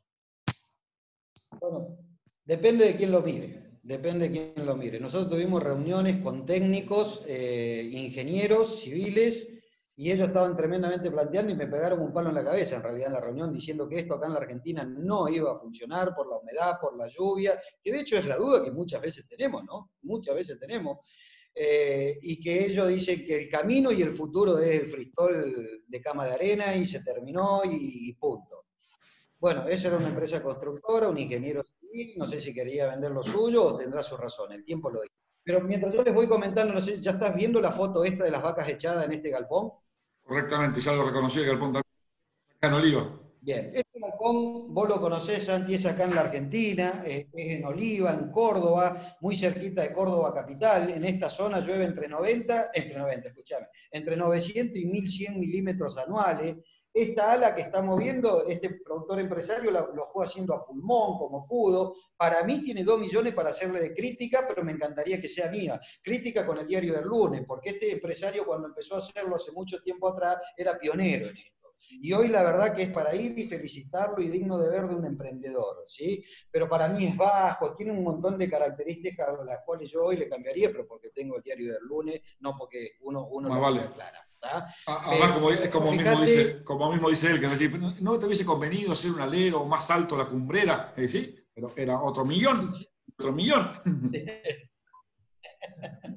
tal, cual, tal, cual, Pero bueno, es un tambo de 300 vacas que está ahí en Oliva, este, ¿cómo se llama? Y en una zona que llueve 1100 milímetros anuales, esta ala ya tiene 5 años de hecha y la ala del otro lado tiene 2 años y medio de hecha. ¿sí? Eh, y bueno, y está funcionando. Que hay para criticarle un montón de cosas, por supuesto, como crítica constructiva, pero bueno, esto para mí y a la familia Fisores fue uno de los campos que fuimos a ver varias veces para poder tomar decisiones, al igual que otros campos más que están en Córdoba, deben ser tres establecimientos con más o menos 800 a 1200 vacas que están bajo esto y transitando más o menos desde dos años, tres años en régimen de lluvia que andan en los 800 milímetros y están muy contentos y muy conformes. Bueno, veremos. Nosotros, desde mi parte, voy a tener un cliente como el caso de Fisore, eh, a punto de empezar a inaugurarse quizá en este año eh, y después te contaremos la experiencia, pero estamos muy convencidos que lo vamos a poder hacer andar. Esta es nuestra convicción. Perfecto. Bueno, Maurito. Esto que están bien. Sí. No, decime, decime. No, no, eh, le pasé rápido, ahí ya las van a ver ustedes con display. Son las fotos del tambo de este de oliva de, de Martín, ¿no es cierto? Y bueno, no sé eh, si tengo mucho más para mostrarle o eh, lo, que vos quieras preguntarme, Santi, no quiero aburrir. No, no, eh, te, diría que creo que hemos hecho una, repasada bastante grande. Si querés, le damos el lugar para que también se sume Juan Pablo Martinengo, que ahí lo veo que está, que conectó la cámara y debe tener el micrófono conectado, para transmitir alguna pregunta. Porque ya llevamos una hora y cuarto y la idea, la idea era cerrarlo una hora y veinte, más o menos, 25. Lo único, Juan Pablo, subir un poquito el brillo a la, pantalla porque se ve muy oscuro. Y, eh, salís muy, negro, muy negro, salís en la imagen. Vamos a tratar, vamos a hacer lo que se pueda. ¿Cómo va, Juan Pablo? ¿Todo bien? Muy bien, ¿cómo están? Buenas tardes. Mauro, ¿cómo estás? Hola, Juan Pablo, ¿cómo estás? Buenas tardes. Muy bien. Mauro, te voy a ir pasando algunas eh, preguntas que han ido haciendo. Eh, algunas tienen mucha relación entre ellas, así que voy a tratar de de armarla en, una sola. ¿no? Una de las primeras preguntas, em, eh, perdón, una de las primeras preguntas es respecto al manejo de la que algo hablaste, al manejo que tiene la eh, cama en, esos sistemas que ustedes fueron a visitar. Si en algún momento eso se retira, se retira esa bosta, si se le agrega más tierra arriba, ¿cómo es ese, ese, ese, manejo en lo que sería eh, la limpieza del compost, o si eso siempre queda así, se sigue echando tierra o, tiene algún otro, algún otro movimiento como para tener cada nueva, cada cama nueva, cada determinado periodo de tiempo. A ver, eh, en la recorrida de este viaje eh, se preguntó y la verdad que ellos van entrando y sacando, o sea, entran tierra seca y sacan bosta de, la parte del patio de comida de los, perdón, de los cuatro metros donde la vaca está parada, llevan bosta hacia afuera, bosta fresca, y traen tierra eh, o bosta seca hacia adentro. Y mayormente no hacían cambios. hacía quizás 7, 8, 10, 12 años que estaban y no hacían cambios más que los movimientos diarios. En el viaje que yo estuve el año pasado haciendo un trabajo allá, ellos me contaban que en algún momento tuvieron que cambiarlo, pero los cambios nunca los hicieron con intervalos o frecuencias mayores cada tres o cuatro años. Eh, no hacían cambios anuales ni nada por el estilo. Obviamente que cada cual le busca el artilugio, si se pasó en carga, si se te está humedeciendo, si la humedad ambiente se complicó, si hay mucha lluvia o algo así, por ahí van trabajando con mayor frecuencia, trayendo o algún encharcamiento o algo, traen bosta seca, abaniendo, sacando la húmeda poniendo en algún sector con el tractor y la pala, pero lo, van ingeniando así. Pero no es que haya una ley que diga una vez por año, una vez cada año, hay que sacar todo y arrancar de cero, bajo ningún concepto. No sé si quedó claro, Juan Pablo. Perfecto, sí, creo que sí. Mauro, otra de, las preguntas fue, o sea, no sé si tuviste la oportunidad de ir a un, sistema que estuviera comenzando a trabajar, ¿no? Si, si lo que se usa es la tierra que está en ese lugar o se trae tierra de, de, otro lado, tiene que ser una tierra o, con determinadas características o, o es lo que tenés en el lugar que empezás a trabajar para hacer la cama. No, en realidad debe ser una combinación, pero particularmente es bosta seca. Lo que la vaca va bosteando en la parte del techo, o vendría a ser del drylot al aire libre, es bosta seca mezclada con tierra, es la que se va trayendo hacia adentro y a partir de ahí es donde se empezó a hacer. La, que lleva el condimento de mucha tierra es la que se compacta mucho, la que hace el cascote, esa no es, no hay que pensar de que tengo que traer tierra permanentemente, tierra pura, como quien dice, para que esto trabaje y funcione bien. Al contrario, si uno se pusiese a analizar, capaz que tenga un 80% de bosta y un 20% de tierra. ¿Se entiende? Perfecto. Mauro, hay, una duda con, respecto al tema de, los ventiladores y de los aspersores en, los galpones. El por qué sí y por qué no. Eh, la, principal duda, de, no sé si es duda, los científicos, los que saben de esto, están planteando, por, sustentabilidad, en este caso particular en los aspersores, es tratar de cada vez economizar más o ser cada día más eficiente con el uso del agua. ¿sí? Entonces se trata de hacer de una manera más eficiente los sistemas que yo le mostré antes. Cada día se está recomendando más y se está haciendo más auge en eso cambia el paradigma del refrescado totalmente, es una gota gruesa, mojarla completamente a la vaca, a posterior con tremendos ventiladores que la vaca se seque para que entre a la sala de ordeño seca. ¿sí? Y con respecto es el uso, es la corriente, el gasto energético de los ventiladores, y, para mí sigue siendo funcional el ventilador, yo no descarto esa posibilidad, pero mucha gente que sabe ya están empezando a hacer estudios de, molestias sobre el ruido para las vacas eh, en las horas de descanso. Eh, todavía está en una hipótesis grande, pero ya se está estudiando cada vez más eso. Mm. Mauro, hay una pregunta con respecto al rotobacter. ¿Cómo es su funcionamiento? Si, si, trabaja de forma horizontal o si trabaja como una batidora que va tirando de abajo hacia arriba.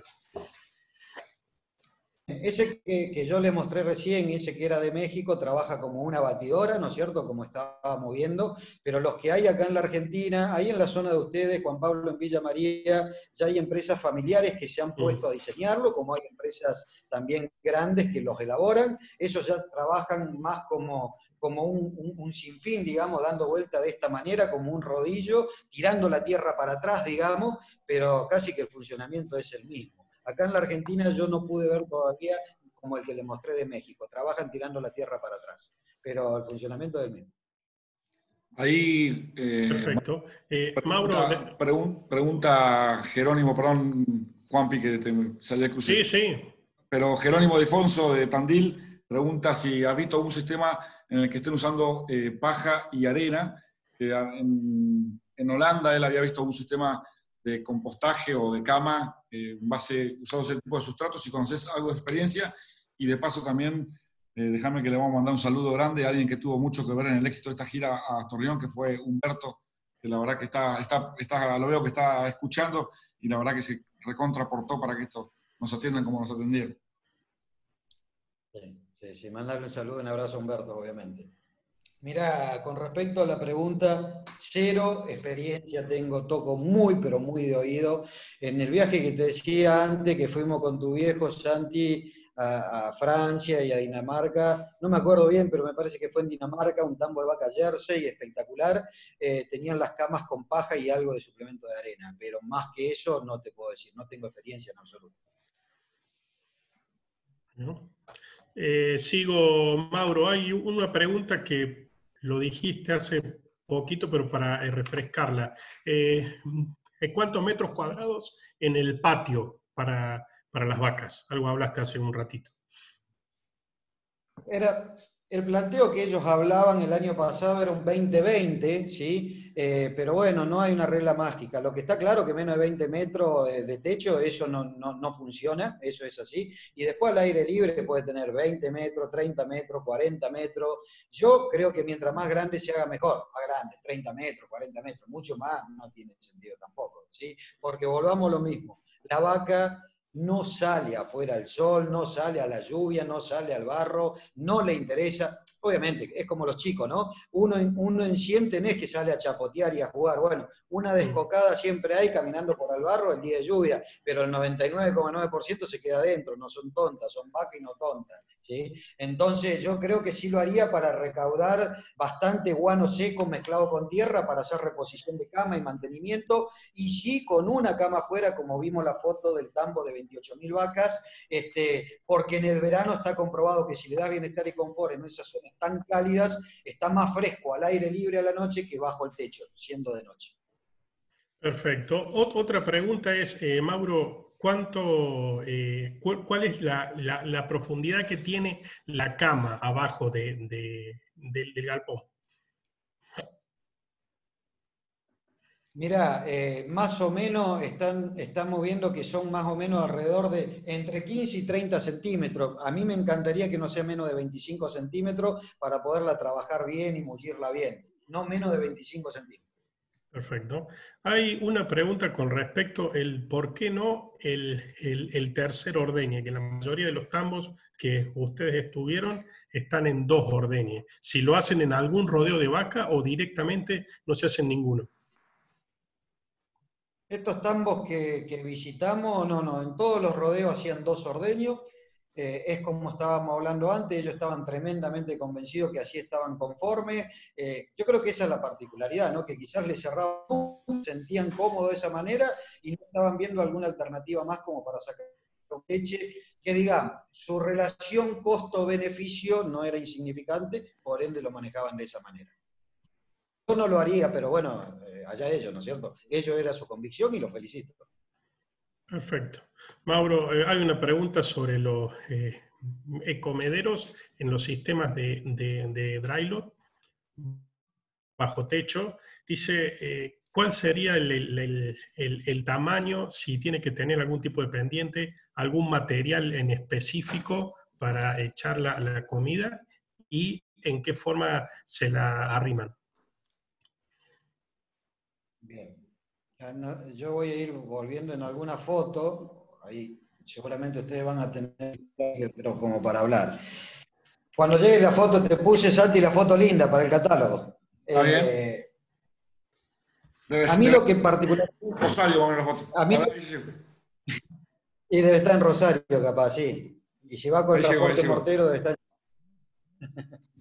eh, esta foto está buena para ver el reflejo y fíjense en cómo está el piso acá donde pasan los tractores y el mixer. Y la verdad que te encontrás que los establecimientos que ya tienen un par de años, esto sigue igual, el estucado está correcto, pero cuando venís a mirar acá abajo la comida está muy porosa y, ya la acidez del silo y el raspado de la lengua hace que se vaya perdiendo esa sustancia de arriba, se ven las piedras. Bueno, eso es fundamental tenerlo muy claro y no sin tener algo que alice esta superficie de más o menos 80 centímetros de ancho a un metro, que quede tremendamente lisa para que no deprima consumo por la rapidez. Cuando la vaca come con la lengua, recuerden la actitud de consumo del bovino como es, ¿sí? y se raspa la lengua y deprime consumo. Tiene que ser tremendamente liso. No menos de 80 centímetros a un metro de ancho, y bueno, y no menos de 50, 60 centímetros de esta pared, Juan Pablo, por el hecho que después si querés ir a la eficiencia de dar un mixer por día, la cantidad volumétrica de esa comida, si lo haces mucho menos de eso, eh, te, va a faltar espacio para, hacer el depósito. ¿sí? No sé si era esta la pregunta, Juan Pablo. Sí, sí, sí. Sí, sí, no, no, no. ¿Y eh, ¿qué, qué es lo que se utilizaba, qué maquinaria para arrimar esa comida? Bien, yo acá no puse ninguna foto, no me di cuenta. La verdad que este tambo particularmente tenía un tractor, pero se lo comento, un tractor con un brazo adelante, con una cubierta, como todos, ¿sí? que iba girando iba arrimando. Y vamos a un ejemplo. Pasaba el mixer viniendo y la cubierta de acá arrimaba mientras descargaba acá la comida. Cuando pegaba la vuelta, venía a tirarle comida a este lote y volvía a arrimar de este lado. La verdad, mientras iba descargando comida de un lado, arrimaba la comida del otro. Después de ahí podés utilizar una pala, una champion, lo que se te pueda ocurrir. Mayormente, mayormente son tractores con una cubierta en circular que va haciendo un círculo y arrimando la comida. Eh, el caso de, Nico, el otro día me comentaba que como que ya tiene la inversión hecha, eh, hizo un proyectito ahí con un robot para, para hacer el arrime de la comida. Esa es otra alternativa. Eh, pero bueno, no, no, no, se necesita un robot solamente para esto, se puede hacer. Y de hecho, me ha tocado tambos muy chicos de acá de la Argentina, 250, 300 vacas, y, y tenemos una persona con, con, el cepillo grande de 70 centímetros y va arrimando con la mano, tipo escoba, va arrimando, y bueno, todo sirve. Y la verdad que, que esa interacción que hay de humano a animal es fantástica, es fantástica para hacer el arrime, ¿sí? Ese vínculo es fantástico. bueno, en Megatambo no lo puede hacer. Mm. Hay una pregunta, Mauro, con respecto a la, recolección de agua en, estos sistemas. No sé si lo pudieron ver, ver allá, eh, porque lo que está preguntando es qué pasaría en la zona donde tenemos mayor régimen de, agua, ¿no? Eh, ¿Habría que hacer una eh, recolección de esa agua de, lluvia para evitar problemas en, la cama y bueno, y para ver si, si esa agua se puede llegar a utilizar? no sé si ya cambió la foto, ¿la están viendo esta ustedes? Sí, sí. Pues fíjate que tiene canaletas. Si uno tuviese que elegir, está tremendamente claro que hay que juntarla al agua, que hay que recolectarla. Pero no deja de ser un problema. Al recolectar agua, después hay que saber dónde ponerla también. En algún lugar esa agua va a terminar yendo. ¿sí? De hecho, de hecho eh, muchos lugares eh, lo que terminaron haciendo por ahí es agregarle un metro más de agua acá y no le pusieron no le pusieron canaleta, sabiendo que se iba a meter el agua acá y que por una semana o tres días restantes iba a haber un metro de, barro acá y que las vacas no lo iban a poder aprovechar. ¿Por qué? Porque se enquilombaban más hablando mal en tratar de qué hacer con esa juntada de agua. ¿sí? Bueno, el caso de, Nico lo, lo estábamos planteando y, bueno, él está muy convencido. Al principio no sabíamos si poner las canaletas, que queríamos probar. Ahora aparentemente, bueno, le buscó una alternativa de qué hacer con esa agua, con canales de desagote que se vaya yendo y, le vamos a terminar poniendo, en el caso acá en Argentina, con estos regímenes de lluvia, eh, canaletas a los costados para montar. Yo creo que si se puede, está bueno, pero guarda que hay que saber qué hacer con toda esa agua. Son muchos de techos que juntan agua, muchos metros.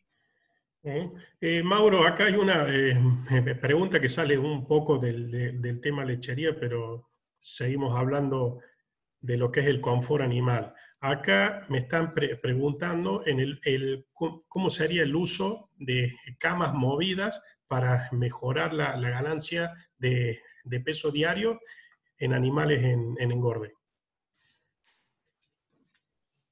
No, no te puedo precisar la información porque no lo tengo medido, pero la lógica y hasta el poco trabajo que nosotros hacemos en Firlot este, está dando resultados tremendamente positivos. No te puedo decir como si tenemos medido en vaca en producción de leche que es 4 litros por cada hora adicional, decirte si por cada hora adicional de ganancia de peso deberían ser 50 gramos, 30 gramos, 70 gramos, no lo tengo medido. Pero que es positivo, eh, seguramente que es positivo la hora adicional de descanso, porque todo lleva a más hora de descanso de mayor consumo y por ende mayor ganancia de peso o producción de leche. Pero te puedo asegurar, Juan Pablo, que dentro de poco van a estar saliendo informaciones bien precisas de eso, seguramente, seguramente. Eh, Mauro, eh, vuelvo. Sí. Disculpa, Nero. Ahí, mientras eh, vos estabas hablando, estaba leyendo un poco algunos mensajes de WhatsApp y eh, Kevin Donnelly, de hija de Juan Arrieta y de don Remigio, tenías idea eh, a qué profundidad estaba la napa en esos campos en Torreón, que me imagino que muy, muy diferente a lo que es la napa en América, ¿no? Claramente. Sí, sí, sí. sí. no recuerdo, pero era locura. 100 metros, 70 metros, 120 metros, no, no, no tiene Sé que tenían que ir a 100 y pico de metros de profundidad para riego, para riego, era una locura, ¿sí?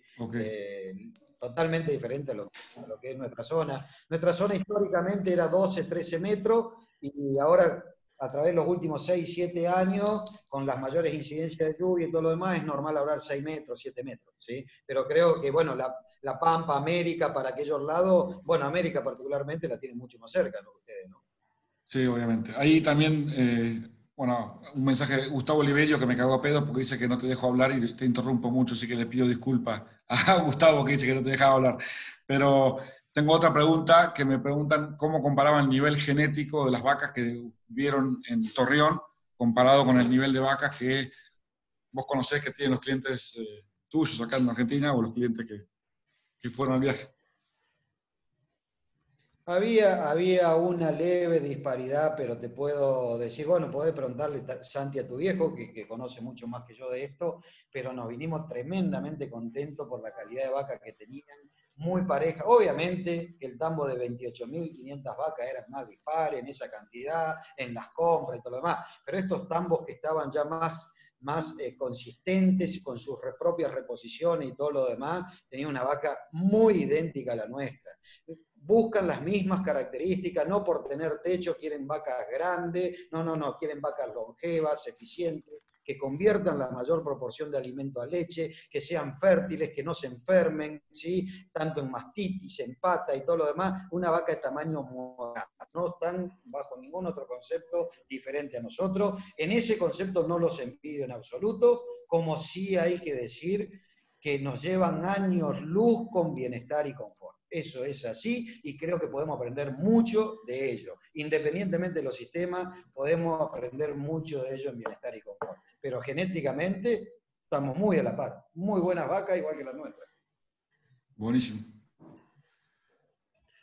Mauro, hay, una pregunta más referida al, diseño. Dice, ¿qué opinás sobre los, tímpanos en, los galpones que serían eh, cerrados en las puntas? tímpano de, por las vacas, el ruido? No, no, no, son las... Viste como tiene, el, como tiene el galpón de Ángela Teresa, que son como las cumbreras eh, cerradas en las cabeceras. ¿Te ubicás? No, no, no te entiendo, no, no te entiendo. Em, ¿Viste, las, cabeceras del galpón, como este corte transversal que estamos viendo acá en la foto que estás mostrando vos? Sí. Bueno, hay algunos que tienen cerrado ahí. Ah, que tienen una pared ahí. Correcto, sí, más, que una pared, sí, es como que tienen cerrada la cabecera no, para que, para que el, viento haga un efecto de salir por, la, por, por arriba, por la cumbrera. Digamos. Le llaman no, Te soy, no, no, te soy sincero, no, no tengo experiencia en absoluto, desconozco, es más, me, llamó la atención la, palabra, desconozco totalmente, pero les averiguo de la gente que sepa y le pasamos la información. Yo no, conozco. Acá alguien comentó eh, de una manera un poquito más técnica a lo que yo te estaba explicando, pero es, tímpanos son los cerramientos en las cabeceras. Se ve que ha sido cuando te dormiste en la parte que estaban visitando esa parte, te dormiste del viaje. No, es que no encontramos, no encontramos con tímpanos así como, como lo llaman, pero pero yo sí me parece que hay que rescatar algo y una vez eh, trabajando en Estados Unidos con, con Ed Silva, eh, habíamos estado debatiendo un tema y, sí lo que es la orientación, como hablábamos recién por el tema del sol, que mucha gente es malo, trata de buscar y hacerlo cruzado para que entre el sol adentro, por miedo a que no seque la cama, si dice entra el sol y seca más rápido. Hay un par de errores conceptuales ahí. El número uno en secado no es el sol, es el viento. ¿sí? Entonces, en nuestras zonas que predominan los vientos norte y sur, no es lo mismo que yo tenga que hacer pasar sobre, vamos a suponer, 55 60 metros de ancho del galpón, que tener que hacer pasar vientos, si lo hago al revés al galpón, de 200 metros de largo. No hay ventilador y no hay chance que pasen los vientos. Entonces, el efecto chimenea, por más que le pongan tímpano en las puntas y la orientación y la ubicación con respecto a los vientos, no va a trabajar nunca para poder salir hacia acá. No, sé si se entiende el concepto. A mí particularmente, la altura, las pendientes, por eso le decía que no copien y peguen, que se hagan, eh, eh, digamos, orientar con gente que sean expertos en el, tema, pero la altura no es un vicio, ¿sí? La altura necesita el ejemplo que te voy a contar en este fristol en Estados Unidos era un galpón para 800 vacas y había 400 vacas, era en Georgia que estábamos, y, se morían las vacas, goteo todos los días, se morían dos, tres vacas, dos, tres vacas, dos, tres vacas, y no se sabía por qué era, tenían cama, tenían dispersión, tenían comida, tenían todo, porque era el doble de, tamaño para las vacas que eran. Y la verdad que cuando vino el ingeniero ese día, me tocó la suerte de estar ahí, dijo, no, sí, pero si no lo van a llenar de vacas, se van a seguir muriendo. ¿Por qué? Porque este diseño que tiene entre la altura, los vientos, las pendientes y todo lo demás, tiene que hacer un efecto chimeneo un efecto chimenea, la composición del oxígeno, el dióxido de carbono que tiene acá adentro, para que con ese peso específico se vaya por la, por la chimenea. Si no, de lo contrario, no se va a ir. Después me había comentado él que le terminaron poniendo las vacas que eran necesarias y a los tres meses desaparecieron los problemas. ¿sí? Entonces, eh, desconozco lo del tímpano, pero las orientaciones y los vientos eh, es fundamental tenerlo muy claro de cada zona. ¿sí? Buenísimo, Maurito. Bueno, si les parece bien, creo que habiendo sido ya una hora y cuarenta, se ha portado muy bien eh, Mauro y se ha portado muy bien Internet, así que siguen habiendo algunas preguntas más. Algunos están preguntando cuestiones de manejo reproductivo de la María Pilar con los números que mostraste, pero creo que está bueno que lo conteste después por privado porque se está haciendo un poco largo. Así ya le damos un corte.